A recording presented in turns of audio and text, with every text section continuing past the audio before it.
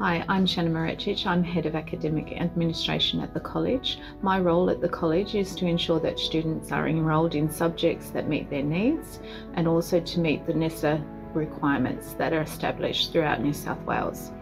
Furthermore, it's my responsibility to ensure that we monitor the students' performance over time and that we clarify and rectify any problems along the way. In order for students at the college to choose their subject selections wisely, the college will provide opportunities for students um, to make that choice. Firstly, students will be involved in career lessons in which students then can identify subjects of interest and careers of interest. They will also use that information to look at tertiary education facilities and their requirements for when they go into university. Secondly, students will be involved in the process of um, a careers survey in which it will identify exact um, careers that suit the needs of the students, their abilities, and also um, their interest. The college will also provide a subject expo, and that expo will involve students going around to each individual department to ask teachers and students about the subjects of interest. Lastly, students will be involved in an interview process in which um, students, parents, executives, and heads of department will look at their pattern of study and make sure it suits the needs of those students. In order for students to have a voice in the subject selection process at the college, um, several processes will be involved. Firstly, students will be sent a survey in which they will rank from order of decreasing interest um, their subjects of choice. That survey will then be statistically analysed to determine the lines that will be provided at the school. Students will then get a second survey and that survey will be used then for the students to choose their subjects for 2021.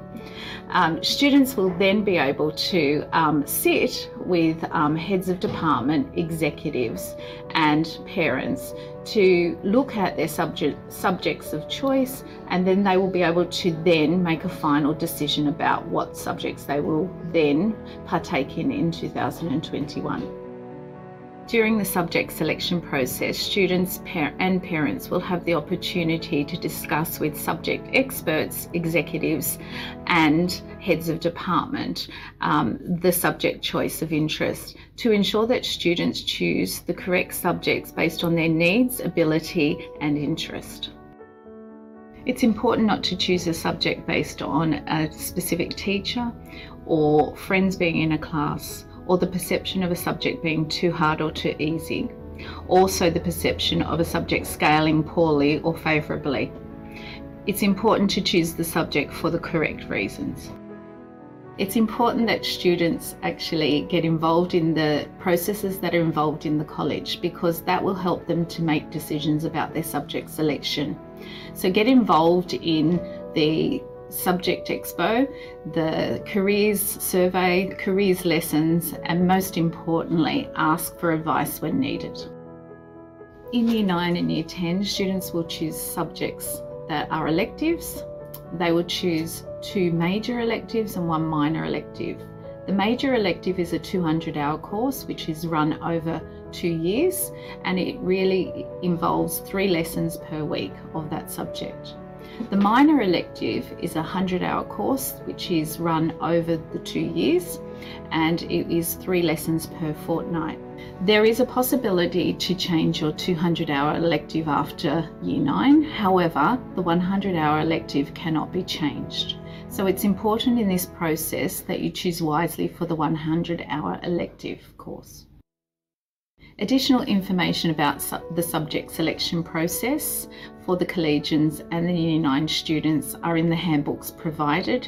Feel free to have a look through those handbooks and um, if you need any additional advice or support in your decision, come and ask for help um, from either the executive team or myself or any of your teachers or heads of department. I'd like to wish all of the students all the best in their subject selection process and their academic studies. And just remember that your journey in learning is really a collaborative event in which the academic team, the pastoral care team, and um, your family will support you throughout this whole process.